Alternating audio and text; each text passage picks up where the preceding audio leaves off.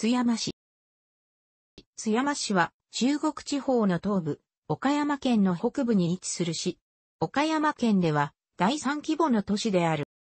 県北の美作地方及び津山都市圏の中心都市であり、同時に人口面と経済面における県北最大の都市。また、中国山地の中心都市でもある。越前松平家十万国津山藩の城下町から発達した都市で、市街地は旧トマタ郡に含まれる。市全体では、トマタ郡、久米野郡、勝田郡の三郡にまたがる。津山は古代律令時代より、美作国の中心地で、産地の多い美作において、平の面積が大きな津山盆地に位置することから、古くより最も明け、出雲街道の宿駅なども置かれていた。一宮の門前には、市が立ち、戸川塾が成立する。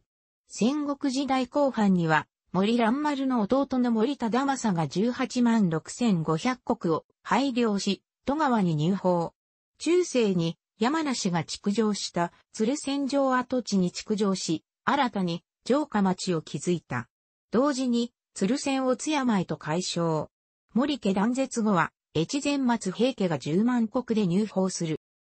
現在は、シンボルキャラクター、勝波鶴丸、桜美目、環境ヒーロー、津山助と仲間たち等のご当地キャラがいる。ご当地グルメとして、津山ホルモンうどん、津山バーガー、津山ロール、津山餃子などが知られる。北部、西部を中国山地、東部を美作大地、南部を吉備高原に囲まれた津山盆地を形成している。旧津山市、旧鴨町、旧阿波村、旧小牧町は、豪雪地帯対策特別措置法において、豪雪地帯に指定されている。年間を通して災害が非常に少なく、住みやすい町である。平成の大合併により、現在大きく分けると29の地区が存在する。平成の大合併前からの地区、平成の大合併で加わった地区。2005年の合併に伴い、地名は以下の通り変更された。ただし、以下の例外がある。市外局番は0868、21から32、36、42、46、57となっている。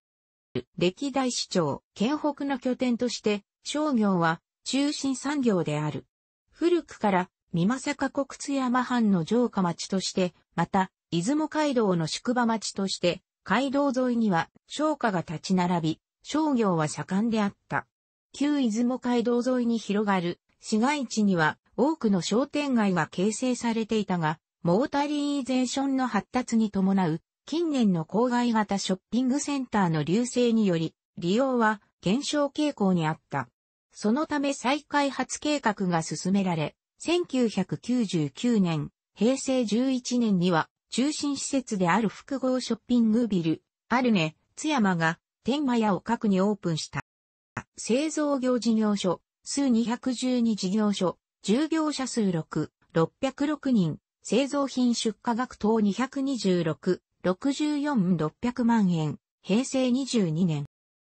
農家数4783個。経営高地面積4314ヘクタール、うち、他、3918ヘクタール、畑338ヘクタール、樹園地58ヘクタール、平成17年。市内では国道同士や国道と県道を含め多くの道が重複する区間がある。西部の津山市一方から同市東部の川辺までは国道53号、国道179号、国道429号が重複、川辺からも高野本郷までは53号と429号が重複する。交点のみも含めると先導町交差点では5つ、国道53号、179号、429号、県道394号、452号が重複するケースもある。交点のみを除くと、今津屋橋横山の津山駅前まで、上日の5つから県道452号を除く4つが重複する。実際には、国道優先、若い番号優先で、この場合国道53号と呼称されることが多いが、道路標識上などはこれらがすべて一つの道に当てられている。津山地域の機関局である津山中継局のほか、市の中心部では津山南中継局を受信している世帯も多い。なお、NHK 総合の未季節渾身対策として津山東中継局が設置されている。鴨地区では、美作鴨局を受信するが、ここからは RNCKSBTSC が電波を出していない。2009年12月24日に、津山コミュニティ FM、愛称 FM 津山が開局し、2010年7月1日には、FM、津山、愛称、レディオ津山が開局した。ただし両者は、電波の送信場所が異なるため、受信可能な区域も当然異なる。FM 津山の送信所は、北部の天狗寺山で、津山市、小王町、鏡野町及び奈義町の各一部、46,173世帯、レディオ津山の送信所は、南部の神ナビ山で、津山市の一部、15,475世帯と、小王町、鏡野町、真庭市の一部を放送区域としている。なお、レディオ津山の送信所がある、神ナビ山は、テレビ放送の津山南中継局と同一場所である。いずれも津山市内に設置されている。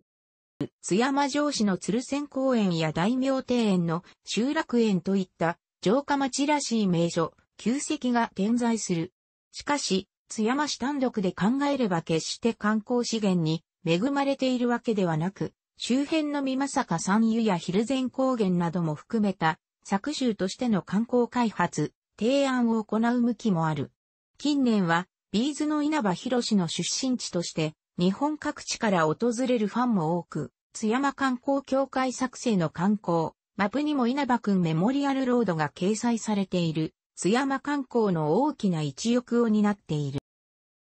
楽しくご覧になりましたら、購読と良いです。クリックしてください。